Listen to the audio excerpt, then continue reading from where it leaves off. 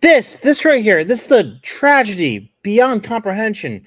A country's number one asset is its people, its culture, and the fact that 56% of people just don't want to have kids. That's a national crisis.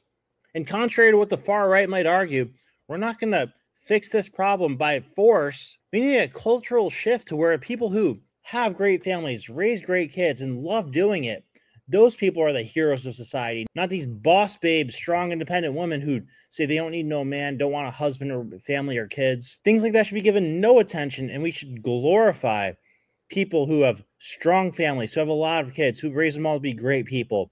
Those are the real national heroes, not these people who are glorifying the strong, independent woman, single life. That is enemy number one right there, that mindset. Get that out of popular culture. And hey, it's not all on them, it's a sales pitch because the way our government's been run the last 70 years has been a disaster and it's put us in this position where two people in households have to work. Very undesirable lifestyle for a lot of people. You don't want to have kids barely get by not even be able to raise them and, and then have them be indoctrinated by the place you send them off to because in addition it costs like $60000 a year for childcare. So, top of getting financially bent over, your kids are going to be getting indoctrinated and then telling you how you're a bad person because you're not socialist enough because they're being raised by people who bought the sales pitch of being a strong, independent woman, don't need no man, but at their core, they want to have a child. They want to be a mother, but they bought the sales pitch of society. So to fill that void, they're either a teacher or a child care taker or a child care attendee or a babysitter. And they're pumping these kids' heads full of crap. Remember, the most valuable asset of a society is its people. And America tragically went a long time without acting that way until Donald Trump came along, putting American people as the number one priority not illegal immigrants, not foreign nations who are fighting wars that have nothing to do with us.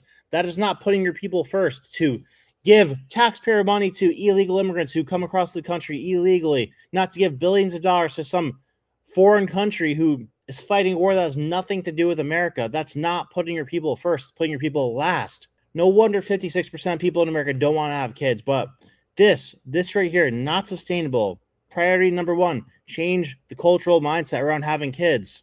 You know, Hollywood has all these requirements. You need at least one gay person, one black person, one lesbian, one trans, this, this, and that. You have to have a weak man in the movie. These are literal guidelines to win a Academy Award. You have to have somebody to represent all the demographics. But screw all that.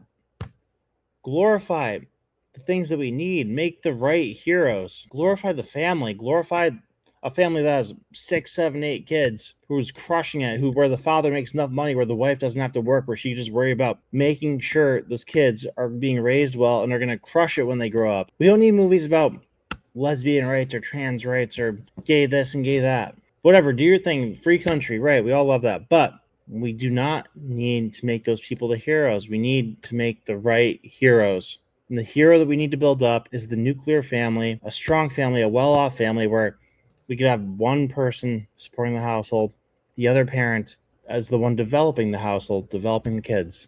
That is what we should be pushing everybody to aspire towards. Sell them on that dream.